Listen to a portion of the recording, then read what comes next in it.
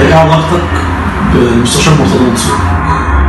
آه ماليش علاقة بيه مباشر ولكن آه جماعتنا والجمعية العمومية كلنا بنقدم نفسنا للانتخابات كلنا بنقدم نفسنا للجمعية العمومية اللي هم أعضاء نادي الزمالك.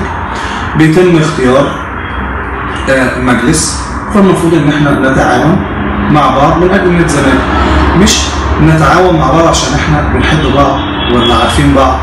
ولا آه مستلطفين بعض؟ لا طبعا الموضوع مش كده. العمل العام آه انت بت- بتقدم نفسك وبتتعامل مع أي شخص. يمكن أنا قبل الانتخابات قلت إيه كان أنا كنت نازل في قائمة كابتن أحمد سليمان وكنت بقول إن أتمنى طبعا الفوز للقائمة بتاعتي وده أمر طبيعي جدا.